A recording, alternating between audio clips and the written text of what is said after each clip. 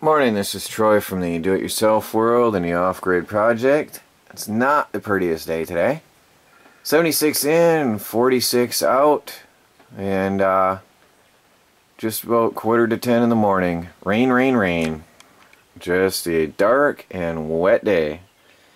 They're predicting it's going to rain for the better part of the week, so I've got to figure out some uh, indoor projects here at the Off-Grid Homestead and the Tiny House on Wheels. So, um, yeah, anyway, let's go on over and have a look at the solar panels over here. It's dark in the tiny house. Really dark in the tiny house. What do we got? Ouch. Well, taking off the insulation did reduce the temperature of the batteries. 12.3 volts, though, is not very good. Um, unfortunately, it's raining hard, so I don't really want to expose the generator to the rain but I might have to because 12.3 is low. Although this forklift battery likes to stay on the low side, so um, uh, the best I've seen it is 12.5 overnight after resting at uh, 70 80 degrees. I think it was about 12.4 12.5 this morning actually. So I've been working on the computer for about 40 minutes now um, answering comments. This thing has been bothering me. I keep forgetting to straighten it out. The cats like to play with the cords. And then they uh, knocked that loose. There we go. Ah. Yeah, I know that's been affecting some of my viewers with OCD. There we go. Now we got some happy OCD viewers. I get a lot of feedback from people that certain things like that bug them. And that's been bugging me actually. The cats like to bite at that cord and knock it loose. I'm going to have to fasten it, make it permanent. Anyway, life goes on at the off-grid homestead, rain or not. Get back to the videos, I got a lot of work to do. It is pouring rain. Just pouring down. It's becoming... There's standing water out here. Let me see if I can risk going outside. There's standing water pooling on the ground out here. Um, I was busy this weekend off camera and you may have noticed that I was ashamedly walking around with my camera pointing down at the ground all the time. Basically like this, walking along all the time because I was embarrassed about the mess. And you may notice everything's gone over here, everything's gone over here, everything's gone over here. Look at that. It's all clearing up. When I look out the door of the homestead now, I see a chicken tractor.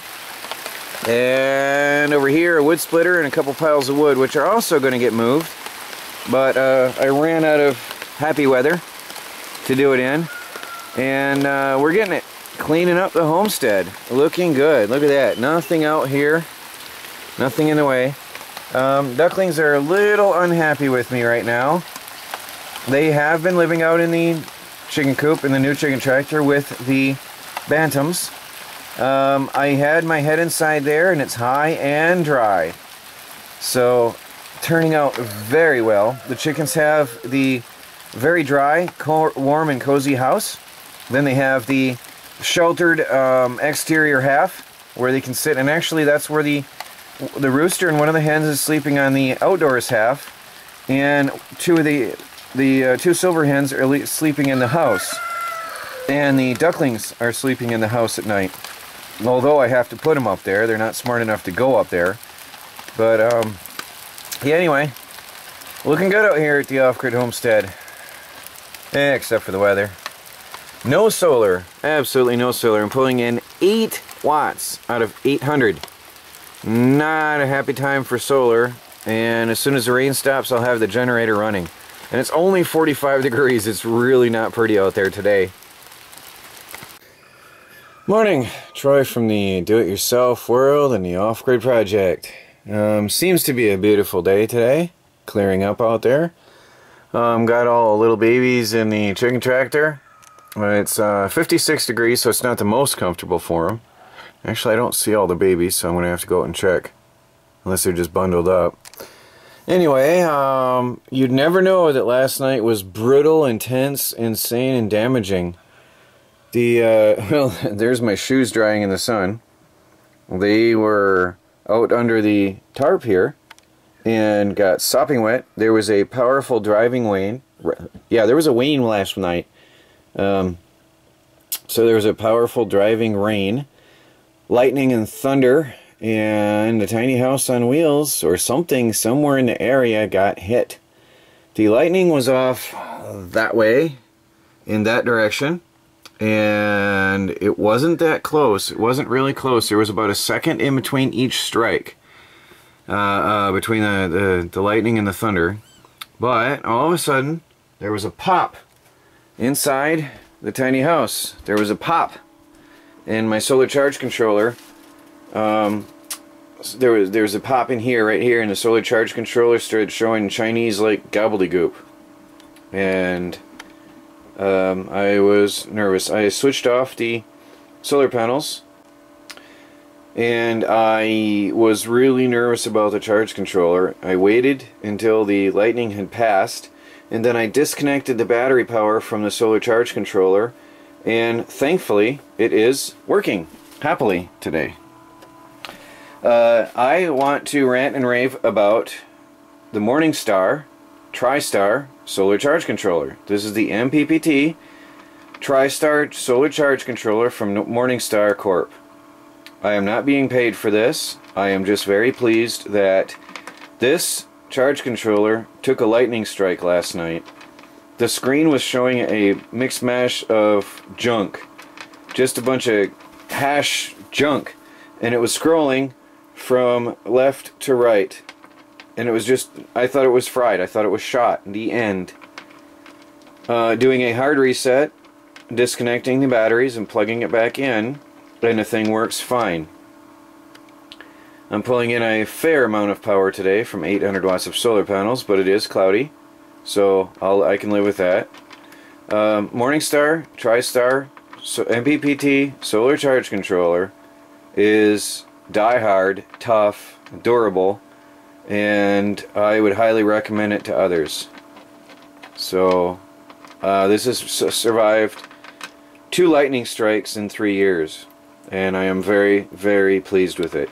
So, definitely um, a good product. Very reliable. Sorry I haven't showed you the charge controller in a long time. I couldn't get it to show up on the computer. Annoyingly, the uh, I think my modem has a defect and I often have trouble getting the computer online in the first place, let alone getting the charge controller on. Right now we've got 500 whopping watts coming in out of 800 total, which is understandable because what do we got? 2 in the afternoon, indirect sunlight on the solar panels and the charge controller is in absorption mode so it's limiting the current that's coming in anyway. So it figures that it's got what it needs although the batteries can take more. I'm thinking that this charge controller is not appropriate for a forklift battery. That's one thing I'm thinking because the forklift batteries are never really fully charged. So I think that uh, there can be some changes here. Now I've been waiting for this for a while I myself have been wanting to see what I've been pulling in. Oh, it's pitiful. Oh, yuck. I expected better. Um, let me see if I can zoom into the numbers here and watch it along through my camera. Alright, the total watt hours, where's my mouse here? Right here. We've been only pulling in, uh, well there was a fault because I reset the uh, thing last night. Pulled in only 160 total watts an entire day yesterday. That's disgusting. Uh, 160 watts in an entire day of rain. That's not good at all. Uh, 2250. It's been really bad, I see. So 1700, 1100, 2400, 1900, 1100, 2300, 2400 watts. Really pitiful. I thought it was going to be higher than this. I really did. Wait a minute, where's my scroller bar? Okay, there it is. Hold on, let me uh, let me check and scan over a little bit. Watt hours. See, I was pulling in more. I thought. No, it's pitiful. It's terrible. All the way back, 2900 was a peak I've had. Oh, here, 3990 I had one day. 67 days ago, I had three, almost 4,000 watts of power. Um, so uh, it's really cloudy here. It's really, you can see, I'm not pulling in, here was another reset. I'm not pulling in much power, 600, 200 watts in an entire day, right here. I am really not doing, not pulling in much power because of the clouds. Here an average of 25, 27, 2900, 2000, 2700. There was a good week here, 200, 800, 400, 300. See, I've had some really bad weather out here this spring.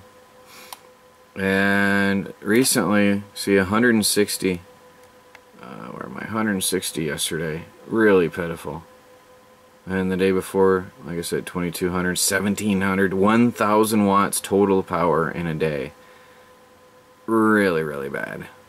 So, um, this is not because of my solar panels at fault, because I can pull in up to 700 watts. There is some loss in the lines. I can pull up to 700 watts into my house at times at one at one time from 800 watts of solar. So there's probably 100 watts lost in the lines. But the problem is, it's just plain cloudy out here all the time. I rarely ever have a full sunny day. Um, which makes this not the prime area for solar. But I'm surviving. I'm making it. So, you know, you can't count my place as as an overview and overall because in California, especially Australia, they're going to have a lot more solar. Way, way, way more solar than I do. So, yeah, it gives you an overview of what I've been looking at recently. Cloudy, rainy days. Springtime is here. It's cloudy and rainy. But I'm not putting it, pulling in any more power than I was in the winter, though. Summer, soon, soon summer will be here, and I'll be pulling in a lot more power than I can use. Then, it'll be great. Uh, we got a box. Baby's already here smelling it out, checking it out. She's growling. Cause Squeaky Cat's here. Ah, uh, yeah. This is from Amazon Fulfillment. So I don't think that I have any idea what's coming in this. No idea. I don't remember ordering anything from Amazon. Let us see. Somebody sent me something here. Oh, okay. Baby cat, look, there's a box. Here's a box for the baby. There you go. Go get the box. Baby's happy now. Okay, this is um a tool belt from the prairies was unhappy with my situation here with my tools and decided to send me a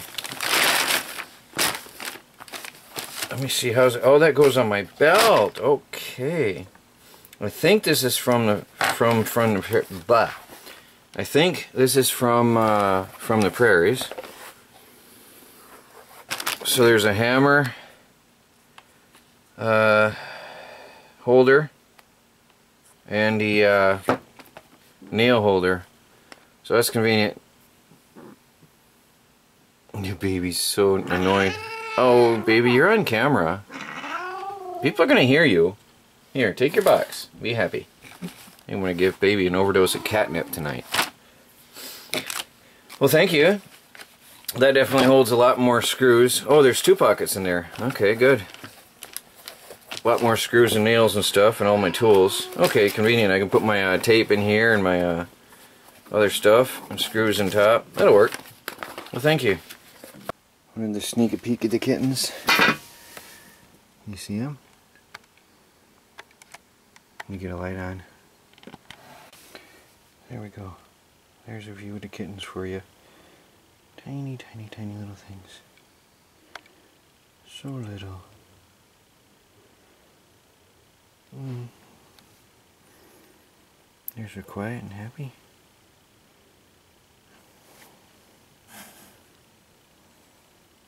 Look at all little.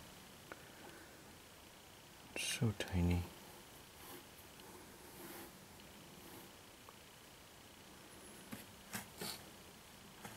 Felix the cat is underneath. I'll show you another time. There's an old black with white spots. Miss Squeaky, you're a good mommy, aren't you? You're a good mom. Hmm? She's taking care of him real well. But there's the nose. At the nose on that kitten. It's so cute. It's squeaky. You got your babies, huh? Gave her a box and uh, she took to it. Miss Squeaky. Yeah.